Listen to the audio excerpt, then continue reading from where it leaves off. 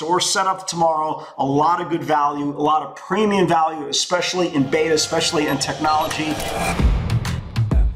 Welcome to Access a Trader, the number one community for those who are committed to taking control of their trading in order to achieve success, profitability, and longevity. Thank you for joining us. Here's Dan Shapiro to help you find your edge, master your process, and own your future. Hey guys, good evening everybody. Welcome to uh, another edition of uh, the AccessATrader.com Weekend Update Show. Hope everybody is doing well. Weekend Update Show. Today is Wednesday. Okay, this is how tired I am. Today's Wednesday. Hope everybody's doing well. Freudian slip. Uh, hope everybody is having a good uh, trading day. So let's talk about the market. Uh, obviously, as you can see, or anybody can see who's been an active participant in the market, or even passive investor in the market, you can see how strong the market continues to be. Uh, bad news is good news. Good news is good news. Great news is gr- greater news. And the Fed officially, for the 38th consecutive Fed meeting, just reiterated that the economy is strong enough to slowly but surely start taking off uh, the training wheels and stop slowly but surely buying that aggressive amount of uh, mortgage backed securities has been doing for a long, long time. Now, again, we've been hearing this for a long, long time, but they really, really mean it this time. Again, as everybody knows, the, the global economy has not recovered yet from the pandemic. Um, the fact that they believe that the, the, the economy is even in its infancy stages to, to kind of start taking off the training wheels is incredible. But again, we'll take their word for it for the 39th consecutive time in the Fed meeting that tapering will start soon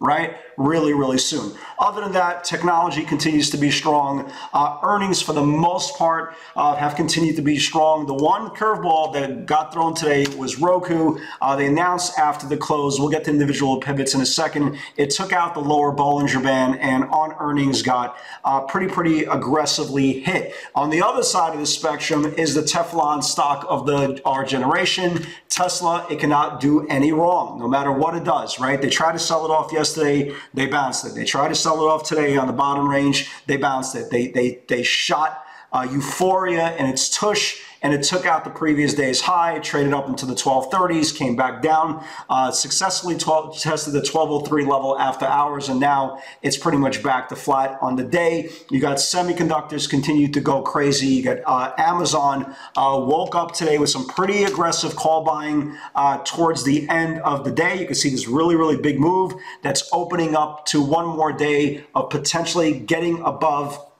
a pretty decent supply zone to start taking it higher. You got Apple re completely reclaimed uh, all earnings levels. Nobody even remembers uh, that the stock missed their earnings. And even names like Cisco, which I really, really like, uh, you know, old world names that are continuing to kind of get out of channels. And tomorrow, if it confirms, it'll start its highest. So, you know, again, we are really, really set up for the end of the year. Okay. Uh, we've been talking about this pretty much uh, every single day. Every uh, every dip above the 50-day moving average uh, needs to be bought and it is being bought on every single level, whether institutional level, micro investor level, macro investor level, whatever the case may be. And the narrative hasn't changed. We see speculation money all over the place. Uh, you see stocks that uh, were not memes turn into memes. You got people chasing stocks all over the place. Uh, you got good news seems to be embraced better than ever uh, at all time highs. And now the question is, how long can the, mar- the market rally?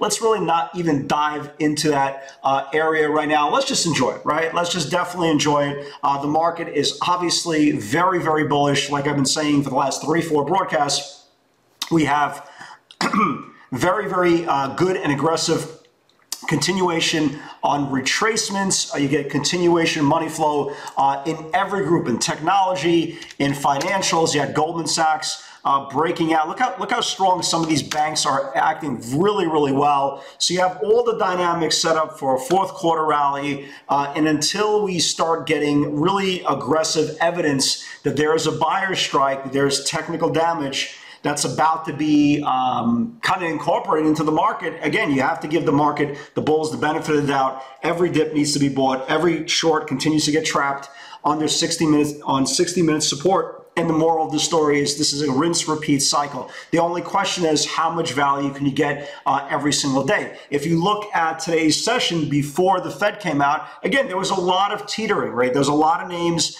that were continuing to kind of relax a little bit. You had Tesla relaxing today before the Fed. Uh, you had names like Apple and you know names uh, like Coin before the Fed. TDOC strong the whole day, and you had a lot of names kind of teetering. And once the Fed news was kind of out of the way, resumption of strength must close green must close at all-time highs and must spill over to the next uh, trading session. Now the key again, and this is a constant nightly reminder, the key again every single day is not chase the names into strength, right? Again, the breakout on Tesla was 715. The breakout con continuation on Tesla was 807. The continuation continuation of all-time highs was 900. The value continues to be in dips, and you can see this every single day. Yes, are you getting the rocket launchers uh, after 2, 3 o'clock? Absolutely. But shorts continue to get trapped, and that is uh, kind of the game plan, the blueprint of what's happening to these shorts and getting run over uh, every single day. And again, our job is to find the stocks that are coming off the bottom of the channels. Again, a lot of times you could turn around and play devil's advocate with technical analysis. You could play devil's advocate of what do you think is going to happen if this situation arises. Again, all we're doing is just, again, really just um, riding on the magic carpet like everybody else on Wall Street is. And hopefully it continues as long as possible. But we have to be fiscally responsible every single day on any new entry, on any single scenario uh, that we are looking at. Because again, we, we will get pulled if you are chasing anything sky high in the nosebleed section. Remember, the least amount of damage is jumping from the first floor. The highest amount of damage and severed heads and broken body parts and broken bones are happening from, you know, from, from the higher floors. So be, again, don't trade from the higher floors, be trading from the bottom levels. And there's a lot of names uh, that are looking really good tomorrow. And tomorrow is setting up for a really aggressive uh, premium session. Like I said, I love Cisco. If it could just start reclaiming this uh, $58 level, this thing could, could really wake up. Uh, you got Zoom, really good cons consolidation. Remember, this is a bottom channel. We're not chasing Zoom up here or up there. I'm watching Zoom down here. If we could just take out this whole macro channel, this thing can wake up. Look at TDOC. Same, you know, same kind of group as uh, Zoom, the stay-at-home names, right? The, the whole um, pharmacy online. Look at the channel that it's one day away from reclaiming. Really good channel. And it's coming from the bottom. It's not coming from the top. That looks really good. Uh, Amazon. Look at Amazon. They, they came out with earnings. They missed their consecutive quarter. Today's candle engulfed three days worth of selling, including the earnings miss. If it could start reclaiming today's channels tomorrow, maybe we could start pushing higher. We saw uh, 3,400 weeklies, we saw 3,700 monthlies uh, come in today. There was a really good aggressive buying coming in on Amazon. Hopefully uh, that spills over. A name like QS that's been going absolutely out of its mind this is another name you want to buy on dips. They came for the 32 weeklies. They started coming for the 35s. I believe if this thing starts uh, going down in the morning on light volume, perfect candidate to buy into rising support for a push red to green, ultimately into this $33 rest area as far as supply. So we're set up tomorrow, a lot of good value, a lot of premium value, especially in beta, especially in technology. And if everything confirms, if everything works out the way we plan, we should have a pretty good session fingers crossed. Let's talk about uh, today's pivots, right? Let's talk about today's pivots.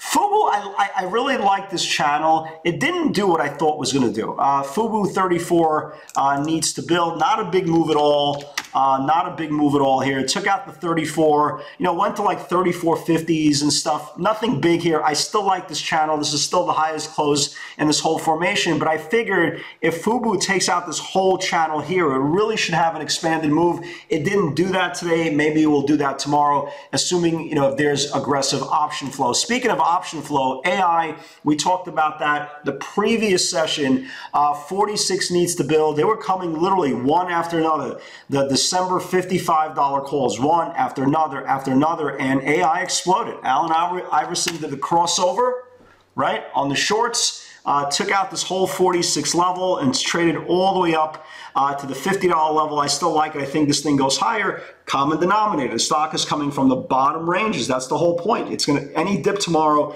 into rising 60 minute support. This is a great candidate to buy the dip on. Uh, another name, AMAT, uh, 141.60 needs to build. Uh, really good looking um, semiconductor chart. It took out the 141.60, traded up to 43.30s. I still like it. If this thing confirms uh, this 45 level, this thing potentially could have a really, really big run in its future, but nice move there. TOST put up like a $2 move. It opens below 66 um, valid area, put up like a $2 candle, and then it just gave everything back.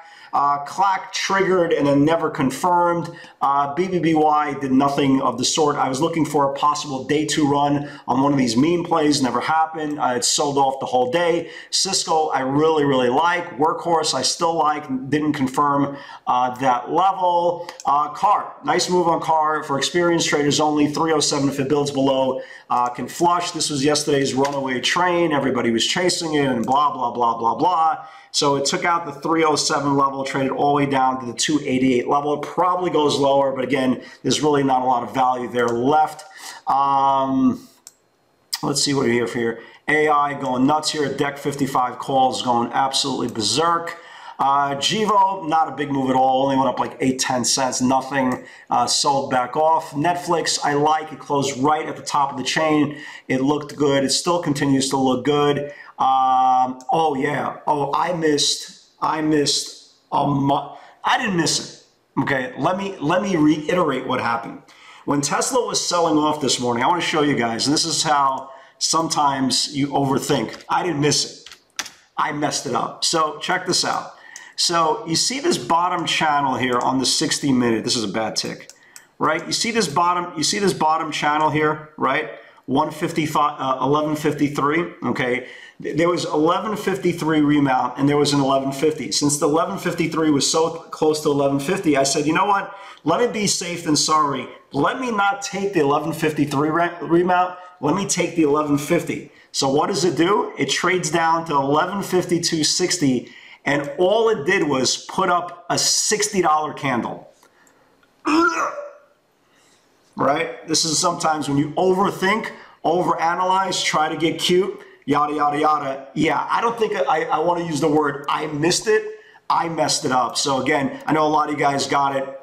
Unfortunately, I wasn't one of them. Uh, Cisco, I really, really like. We bought the bottom dip there into the bottom range. I still think this thing needs uh, to, to get above the 58 level for the next move up.